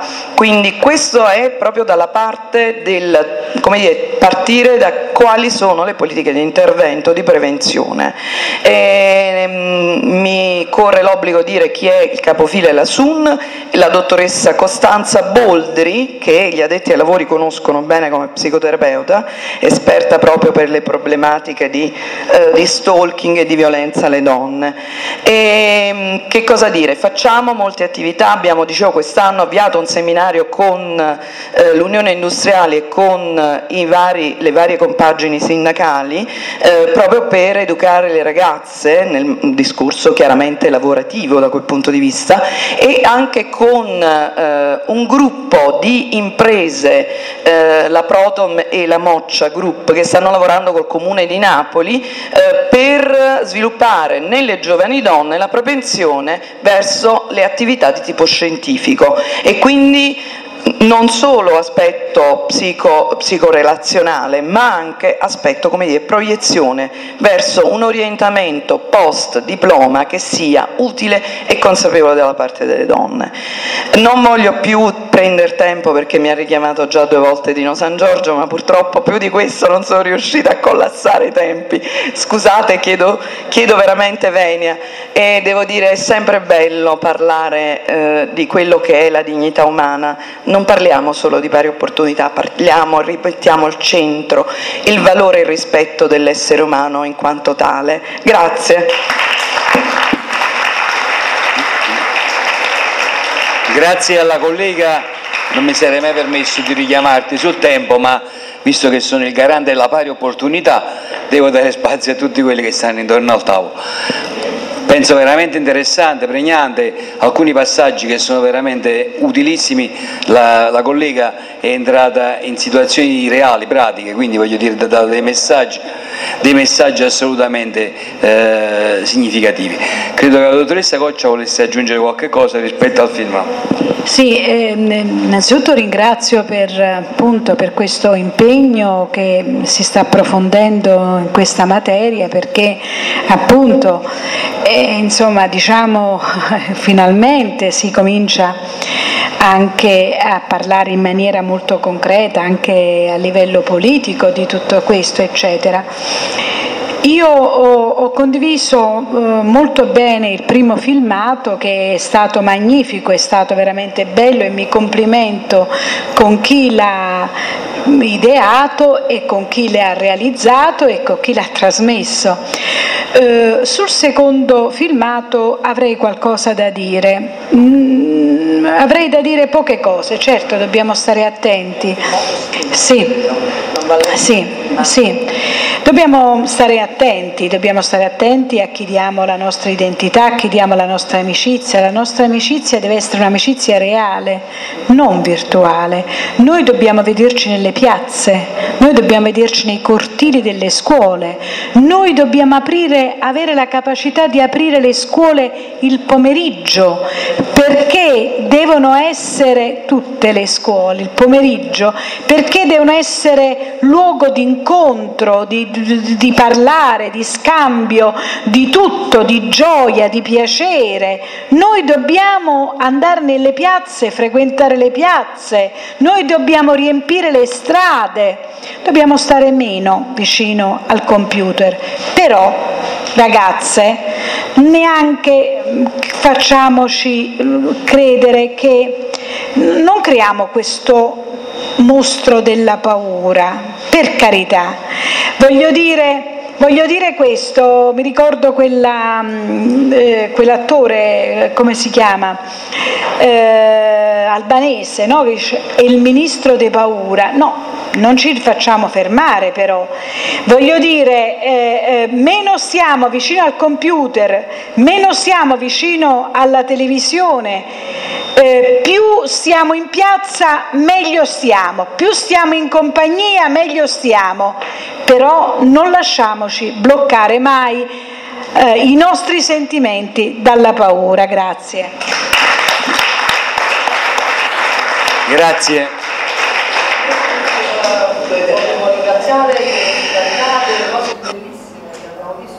C'è un, mi dispiace perché allora, c'era l'ultimo intervento e poi c'è il buffet, che tra l'altro volevo dire, innanzitutto si tratta in dieci minuti andate via, c'è il professore Rovito che abbiamo costretto e stretto nella fase finale.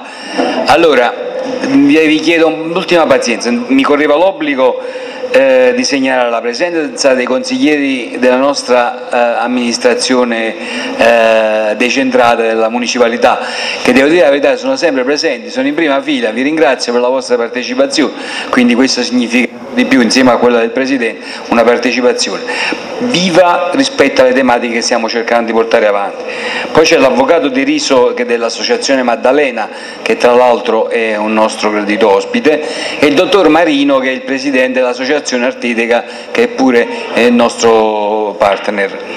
Darei due minuti la parola al nostro sponsor, che tra l'altro noi abbiamo due sponsor ufficiali che sono la FIDAS e la Yangul.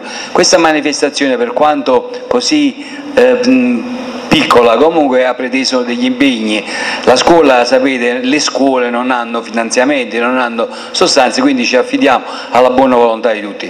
Devo chiedere al baratto fra poco giustamente, dare, eh, vorrei dare giusto la parola, non so se nemmeno se vuole intervenire, però gli chiedo la cortesia di essere qui un attimo, due parole.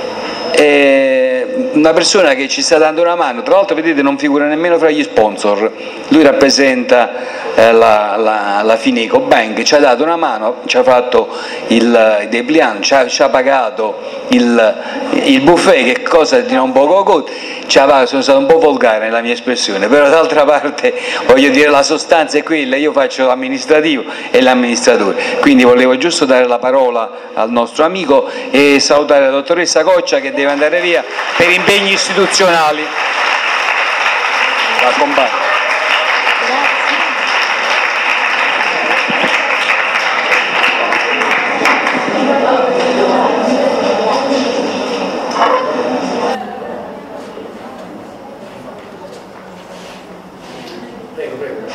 Buongiorno, buongiorno, a tutti. Mi chiamo Luigi Ciotola e lavoro per eh, Banca Finico. So assolutamente che non è il caso di parlare dei miei primi 25 anni di, di, diciamo così, di storia lavorativa. Attenzione, cade l'Italia perché i tempi sono, sono stretti. Più che parlarvi diciamo così, io personalmente del, del, concetto di banca italiana, vorrei che eh, fosse riassunto da questo filmato che, che trasmetteremo. Anche noi abbiamo un filmato. E, eccolo qui, ora partirà. Visto che questo periodo si fa attacco delle banche, no? Quindi è tanto tra fare delle operazioni, non lo so. Io, le operazioni, io adesso ho capito che vuole andare a parlare. Eh, allora, innanzitutto il problema non è fare, adesso ci parliamo un conto. Innanzitutto entrare in banca è facile, perché trovare parcheggi fuori non è facile. Ci sono poi delle banche che hanno il parcheggio, però è salvo di gente che abita zona che sa che tanto lì è la banca, fino a qui non si può stare. Eh. E quindi eh, però parcheggi entri non, non è che ci metronotte già che coperto dal Corriere dello Sport e, e tu entri invece la si vede come si dà, che l'Italia ci ha quasi conti, sei dentro quella camera iperbarica e dici mo esce il cazzo, adesso faccio la fine del socio. Se tu depositi, perché? Mi il di conto e tu se non ricordi dai, se no lui controlla, il computer trova subito, dove lo gira, tu lo giri anche 3-4 volte, lo fai vedere, l'ho girato, te lo metto sotto sopra, facciata aeroplanino, quello che ti. Ma se tu dovessi avere bisogno di danari e vai lì, se parte c'è una porta a parte, cioè proprio un ingresso a parte, tutto acciaiolino, si trova storie, di su dove lo? Sempre sono un cliente della banca,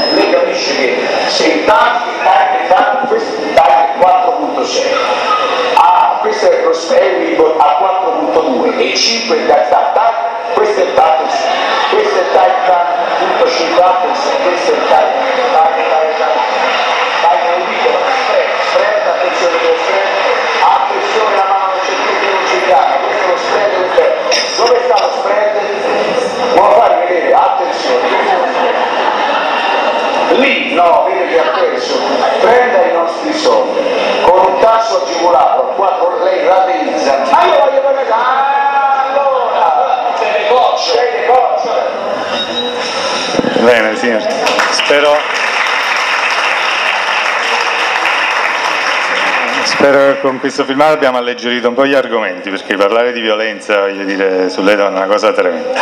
E cosa dire? Noi non siamo questo, cioè questo è il sistema purtroppo bancario in Italia.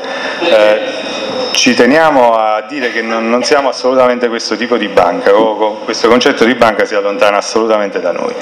Eh, questo perché? Perché noi siamo una banca innovativa, eh, nasciamo circa 15 anni fa, non di più, siamo la prima banca eh, online in, in Italia, tant'è vero che abbiamo un indice di gradimento del 98%, che è un numero esageratissimo, cioè il, abitualmente si parla di banca, tutti quanti si, si preoccupano un pochettino. Avere questo indice di gradimento eh, dicevo, mh, ci, ci, permette di essere la prima banca in assoluto con, uh, diciamo così, con un grado di soddisfazione. Eh, da dove viene fuori in pratica questo, questo dato?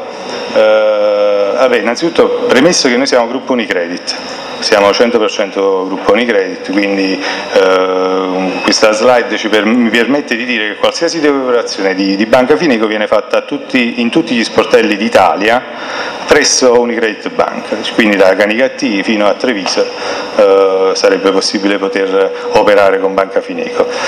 Eh, diventa la prima banca, e non lo diciamo noi ma lo dice altro, altro consumo, con una serie di attestati.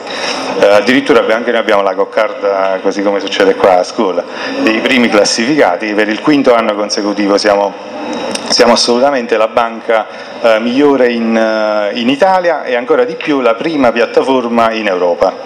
Quindi eh, possiamo andare avanti con la prossima slide. E, eh, partiamo dal, diciamo sì, dal, conto corrente perché noi offriamo servizi e prodotti. I, parliamo dei prodotti partendo dal conto corrente, il nostro conto corrente è assolutamente gratuito. Per gratuito si intende gratuito, cioè non si pagano soldi.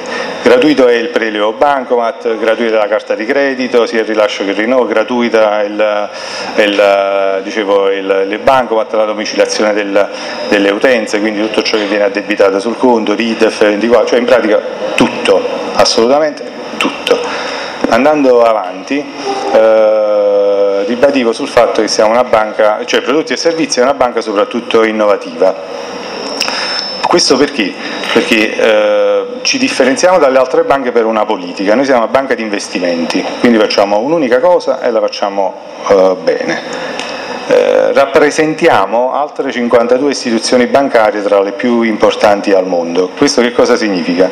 Che eh, Fineco mette nella condizione noi e voi di poter essere serviti al meglio. Quindi abbiamo 52 opportunità bancarie in più rispetto a una banca domestica faccio solo una piccola annotazione, solo in termini di prodotti di un unico settore, cioè fondi e comuni investimento, ne collochiamo 5.200.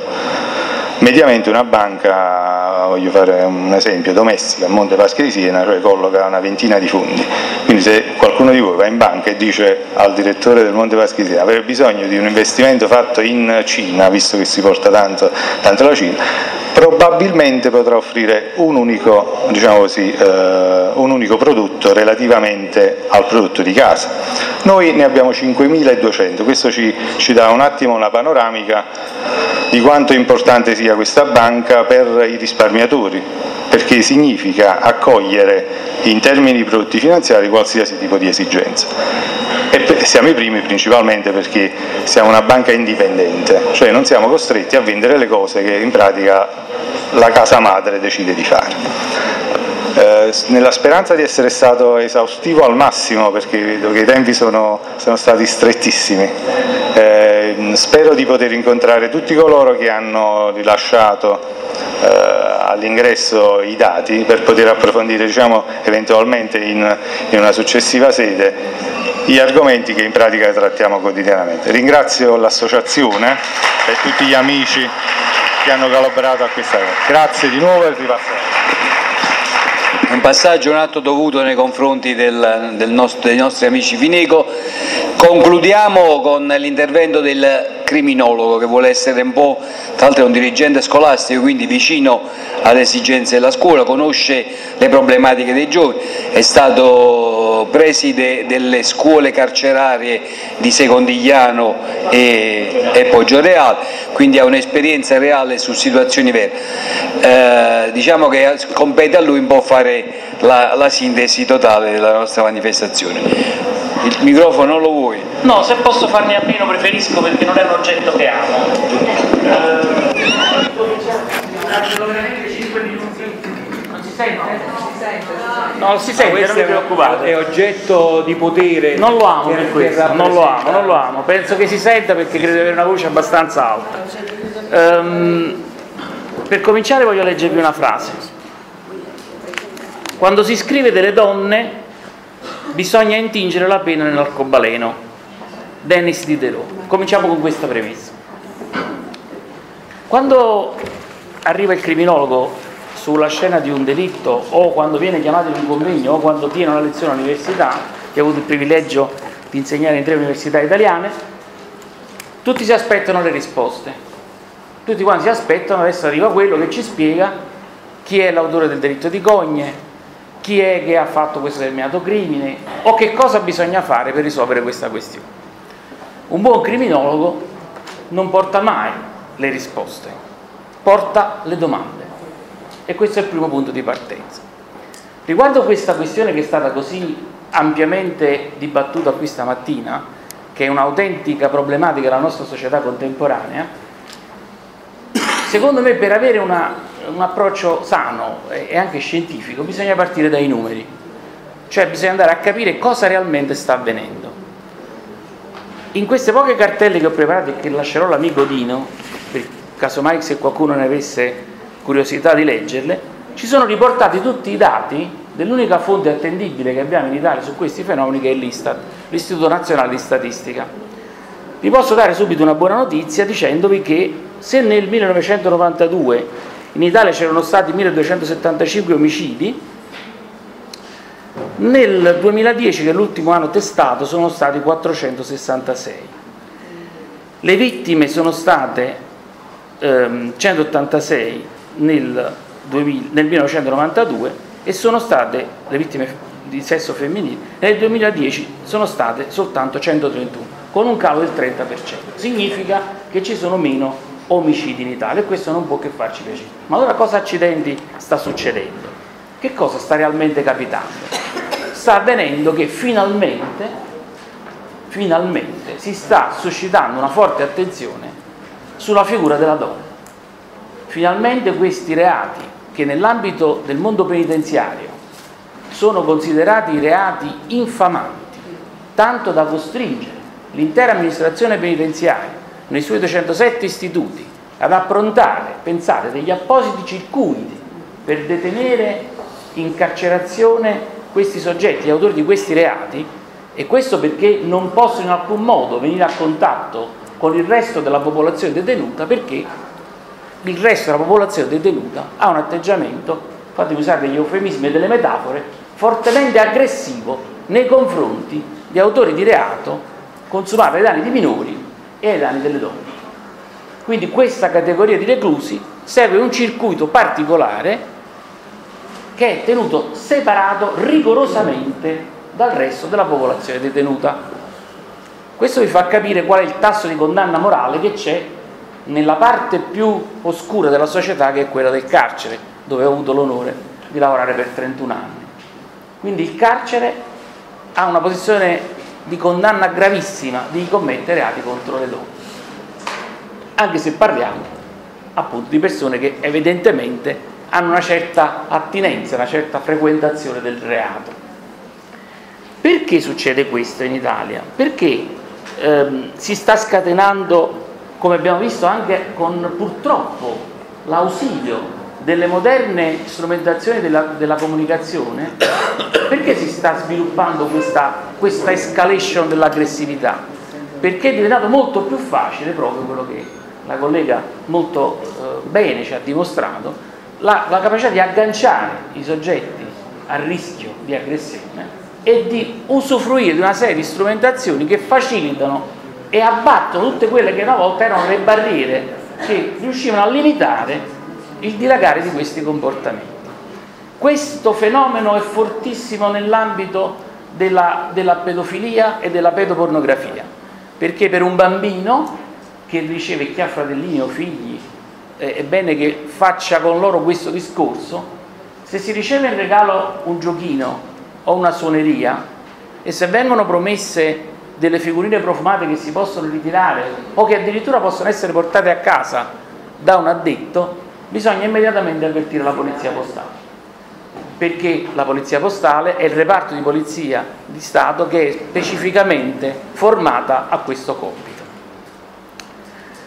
In Italia la famiglia, devo andare velocemente perché il tempo affidato mi è pochissimo e ho anche l'onere di dover concludere un po' questa giornata e non pensavo di doverlo fare.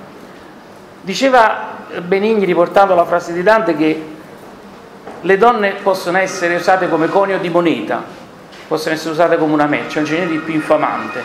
Ritengo che la frase che ho letto di Diderot, vi leggerò alla fine un'ultima per salutarvi del grande Shakespeare che vi fa capire che cosa dovrebbe essere la considerazione nei confronti della donna. Bene, il ruolo della donna è compresso perché è in questo momento storico, almeno nel, nei paesi occidentali, il cardine di un ammortizzatore sociale potentissimo che è la famiglia. In questa crisi economica ciò che viene compresso, ciò che viene distrutto è proprio il senso della famiglia. La famiglia assorbe tutto, la famiglia assorbe il disoccupato che rientra, assorbe il figlio che non riesce a collocarsi, assorbe l'anziano che non ha assistenza e cura.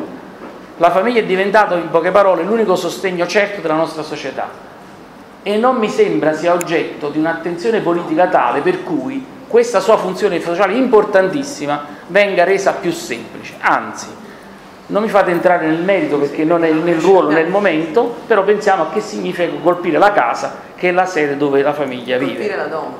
Esattamente. La donna, la donna.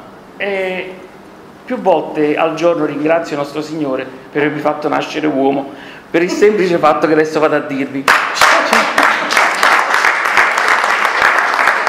C'è un ruolo sociale, c'è un ruolo sociale che prevede un lavoro molto impegnativo, che prevede l'assenza delle ferie, l'assenza della malattia, non prevede gratificazione in caso di comportamento perfetto di rispetto delle, degli incarichi acquisiti, non prevede le ferie, è vero? E se ci sono le ferie poi diventano anche un motivo di moltiplicazione del lavoro in alcuni casi, non prevede la sostituzione, non prevede le assenze e non prevede la possibilità di rinunciare all'incarico. Questo è il lavoro della donna di famiglia, della casalinga. Se fa tutto bene, se fa tutto bene, anche in maniera straordinaria, al massimo ha una gratificazione, ah, non c'è male. Se fa qualche cosa di sbagliato, viene crocefissa ai fornelli o a quello che ha combinato. Quindi è un ruolo che eh, va considerato da un punto di vista sociale perché io ripeto che è il centro, il fulcro, è il motore di una società. e quando ho cominciato i miei studi, la prima laurea che ho conseguito, mi hanno insegnato che la struttura nucleare di una società è proprio la famiglia e che se si vuole capire qualcosa bisogna andare a guardare lì dentro per capire che cosa sta succedendo e che cosa noi stiamo facendo per far sì che questa cellula dell'organismo sociale abbia lo spazio e l'equilibrio che merita. Volevo dire infine, che mi avvio rapidamente a concludere, che questa di oggi io la considero un'esperienza nutritiva che cos'è l'esperienza nutritiva? Quando noi ci incontriamo e ragioniamo insieme delle cose, quando ci confrontiamo sui contenuti, quando dibattiamo e affrontiamo le tematiche sociali che ci riguardano, se quello che noi abbiamo fatto in quella mattinata, in quella giornata, ci dà la possibilità di tornare a casa grattandoci la zucca e dire beh, forse qualche cosa di vero c'era, forse è il caso che io faccia qualcosa, noi ci siamo reciprocamente nutriti. E questa è una posizione che dovremmo avere sempre, specialmente quando si sta da questa parte della scrivania, quando si parla a un pubblico. Dovremmo essere consapevoli e certi di aver realizzato un'esperienza per noi prima di tutto e poi per gli altri nutritiva. Io stesso ho imparato tantissimo in questa mattinata e ringrazio per questo l'amico D. Eh, un'ultima cosa rapidissimamente, questa è la mia scaletta un buon criminologo non deve portare solo l'analisi dei dati, deve portare proposte, deve portare ipotesi di soluzione. Cosa fare? Ho scritto. Prevenzione, quella che stiamo facendo qui stamani. Specializzare le forze di polizia nelle attività di ascolto nei momenti in cui vengono convocati per le liti in famiglia. Dare una maggiore attenzione nelle strutture sanitarie alla tipologia, alla collocazione, alle entità delle lesioni che vengono riportate nei pronti soccorsi perché le lesioni da percosse, e qui entriamo un po' nel mio campo, hanno una loro specificità. E se la, la persona che arriva alla nostra osservazione clinica presenta spesso delle lesioni simili nei luoghi preposti all'aggressione fisica, i polsi, le guance, il torace, evidentemente si potrebbe anche pensare di procedere direttamente all'allettamento dei servizi sanitari comunali. Posso, Completo subito. No, no, volevo solo dare un contributo di conoscenza al territorio. L'unico centro sanitario pubblico contro la violenza alle donne è al San Paolo, dottoressa Elvira Reale, proprio come pronto soccorso. Dunque, ancora, lo studio delle serie storiche, cioè capire che cosa succede in determinato punto della città o in una determinata area sociale. L'analisi della cifra oscura, il 93% delle aggressioni fisiche consumate ai danni delle donne non viene denunciato. E questo contraddice quello che ho detto in premessa, cioè le serie storiche delle statistiche dell'Istat. Eh, Se non le denunciamo non lo sapremo mai. Inoltre è indispensabile fornire un forte sostegno ai centri di ascolto a coloro i quali si occupano di accoglienza di questi casi e infine svolgere quello che si sta facendo qui e che spero si possa fare anche da noi, educare le donne a difendersi. E per difendersi non significa che dovete diventare cinturonieri di arti marziali, ma difendersi sapendo anche cosa fare, chi interpellare, dove andare, perché non dovete mai essere soli in questa situazione esistenziale. E poi l'ultimo punto che è tre parole, parlarne, parlarne, parlarne. E voglio chiudere questa giornata ringraziando ancora Dio per questa opportunità che mi ha dato, leggendomi una frase che secondo me riassume il senso di quello che abbiamo detto qui stamane. Dagli occhi delle donne deriva la mia dottrina, essi brillano ancora nel vero fuoco di Prometeo. Sono i libri, le arti, le accademie che mostrano, contengono e nutrono il mondo. William Shakespeare. Grazie.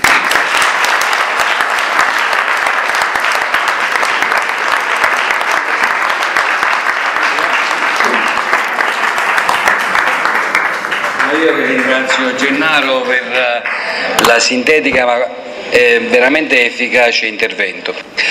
Adesso sono io che concludo, non prima però di aver passato la parola al nostro maestro.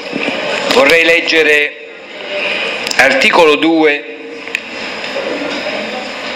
della Carta dei diritti umani del 1945 dell'ONU ad ogni individuo spettano tutti i diritti e tutte le libertà enunziate nella presente dichiarazione, senza distinzione alcuna per ragioni di razza, colore, sesso, lingua, religione, di opinione politica o di altro genere, di origine nazionale o sociale, di ricchezza, di, di nascita o di altra condizione.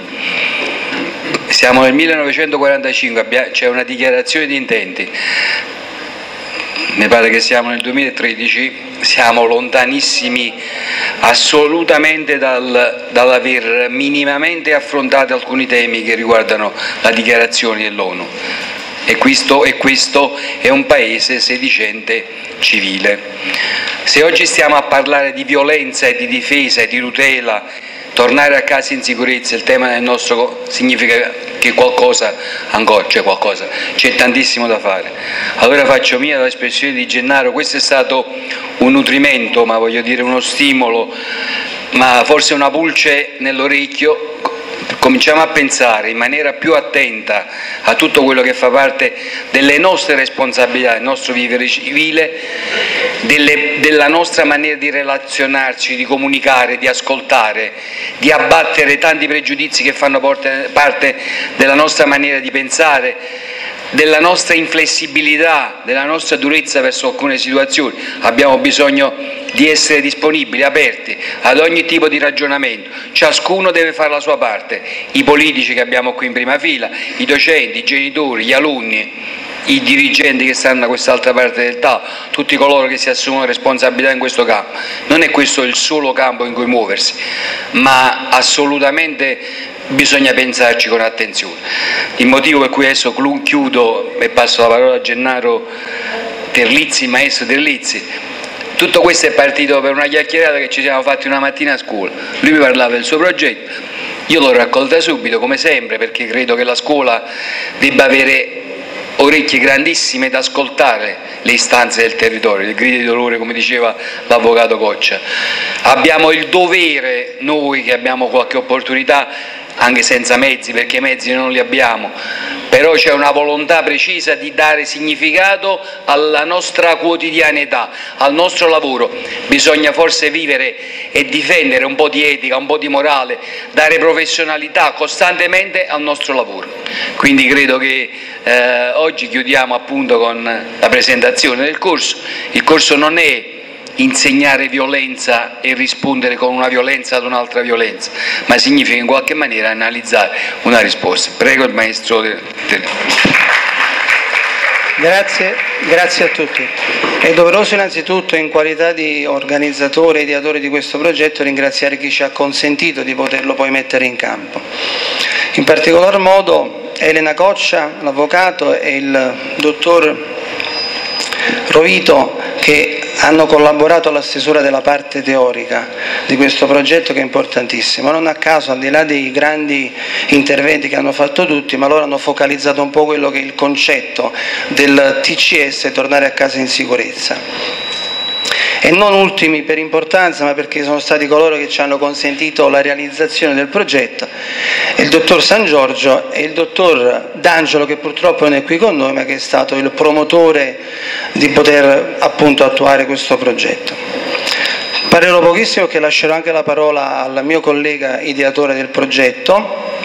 Tornare a casa in sicurezza non è assolutamente un corso di arti marziali, ma va al di là e abbraccia un po' la filosofia che ha citato prima l'avvocato Elena Coccia, la denuncia, e il dottor Vito che parlava di famiglia, di scuola e la prevenzione. Quello che è importante e che faremo in questo corso Analizzeremo i vari aspetti della violenza in genere, ma quello che è importante è la prevenzione. Quindi, per esempio, per voi ragazze è importante sapere come prevenire uno stalking in un pullman, in un mezzo pubblico, come comportarsi in una discoteca, e tante altre cose che verranno descritte poi durante la fase dell'evoluzione del corso.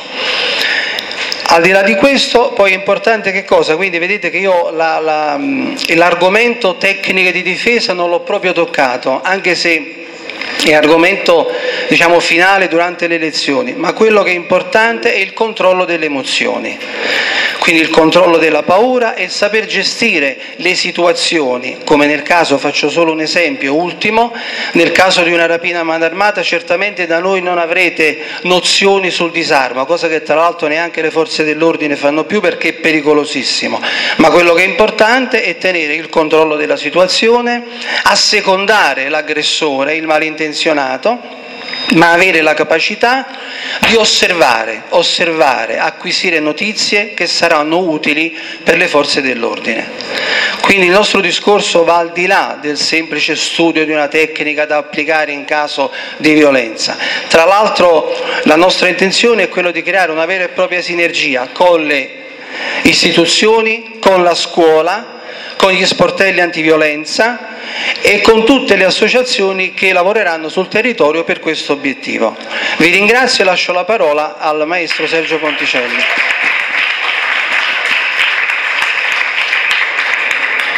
Noi pratichiamo l'aikido già da un po' di anni e durante i nostri allenamenti nelle, nella palestra, ore e ore di allenamento, perché l'aikido è un'arte, quindi bisogna allenarsi tanto per riuscire a raggiungere un livello, degli spogliatoi parlavamo, diceva ma tutto questo sì, va bene, impariamo l'arte, però come possiamo, dato che siamo di estrazione e che eh, vogliamo il sociale, no? viviamo il sociale, siamo fra la gente da sempre, come possiamo noi passare questa nostra esperienza a qualcuno?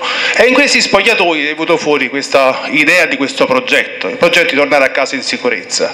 Abbiamo anche noi mogli, abbiamo anche noi figlie e quindi abbiamo anche noi la nostra preoccupazione no? se le nostre mogli, le nostre, le nostre figlie tornano o meno a casa.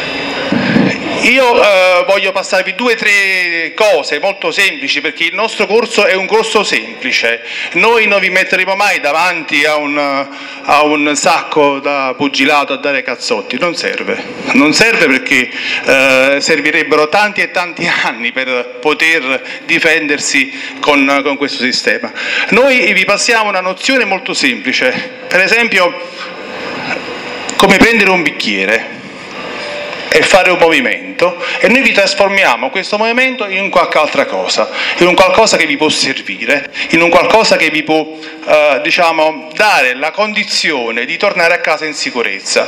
Eh, noi, eh, come diceva il maestro Terlizzi, eh, non parliamo dell'azione e qui abbiamo delle partecipanti al corso, insegnanti e ne vedo altre, e quello che noi diciamo l'azione è la parte finale, eh, c'è tutta una fase eh, diciamo, preparatoria a questo, a questo incontro eh, sfortunato, se capita, sì, sì, eh, a questo incontro, cioè l'atteggiamento, come prendere la persona che vi vuole molestare o comunque far soccombere a una loro intenzione. Quindi c'è un tono di voce alzato, un comportamento, un atteggiamento, perché queste sono persone, e ce lo insegna il, il dottor Rovito, sono persone subdole, sono persone che lavorano sempre nell'ombra, quindi portarle allo scoperto, alzare la voce, avere un atteggiamento e farle uscire fuori è comunque una condizione importante, anche perché, dico l'ultimo, faccio l'ultimo passaggio, eh, prima di diventare vittime di una qualsiasi cosa, l'aggressore già vi ha studiato, già vi ha guardato, comportamento, la borsa della spesa, il telefonino, mamma, papà, figlio, insomma, e tutte queste cose qua. Quindi lui ha un vantaggio, voi ne avete un altro. Lui non si aspetta la vostra reazione, il vostro atteggiamento, il vostro comportamento ed è questo che noi vogliamo sviluppare. Faccio l'ultimo passaggio, il martedì e giovedì 18.30, 19.30 noi facciamo questo corso, fuori all'entrata ci sono i moduli, qualunque persona che è interessata e ci vediamo in palestra. Grazie a tutti, grazie al Preside. E questa volta chiudiamo il microfono è uno strumento pericoloso perché prende, prende, tutti quelli che fanno le relazioni. Allora io sarò velocissimo, ringrazio, sarò assolutamente disponibile per eventuali altre opportunità. Tengo a chiarire che siamo partiti prima con l'elemento finale che era quello del progetto, ma a monte del progetto che è una sua operatività c'è un pensiero, ci sta un'analisi, c'è qualche cosa che deve fare cultura, quindi non è questo soltanto, ma è tutto ciò che sta a monte, è tutto quello che i nostri relatori stamattina hanno messo a fuoco e sono riusciti in qualche maniera, credo, a dare dei segnali significativi alla manifestazione. Vi ringrazio per l'ascolto, un saluto e, e la prima porta a destra c'è il, il buffet che è a disposizione. Grazie, alla prossima.